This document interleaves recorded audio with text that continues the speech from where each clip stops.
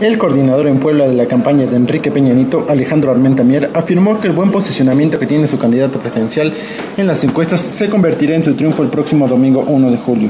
En conferencia de medios, el exdirigente estatal del tricolor reconoció que el exgobernador mexiquense arrancó en Puebla con 10 puntos abajo, sin embargo destacó que el priista cierra su campaña en la entidad con hasta 5 puntos de diferencia. Pese a lo anterior, el PRI se subrayó que Peña Nieto y el partido no se confiarán de esos resultados, pues dijo que tienen claro que las elecciones no se ganan con encuestas. Vislumbró que las elecciones serán cerradas y difíciles. Armen también aseguró que su candidato presidencial respetará los resultados electorales, no importando si le benefician o no. Acotó que el voto de los indecisos beneficiará a Peña Nieto, dado que su partido es oposición.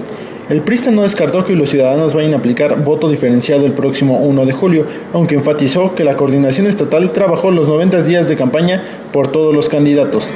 Al final reportó que no han detectado focos rojos en Puebla en los que el 1 de julio se puedan registrar algunos conflictos electorales. Para Puntual informó Aldo Miguel Martínez.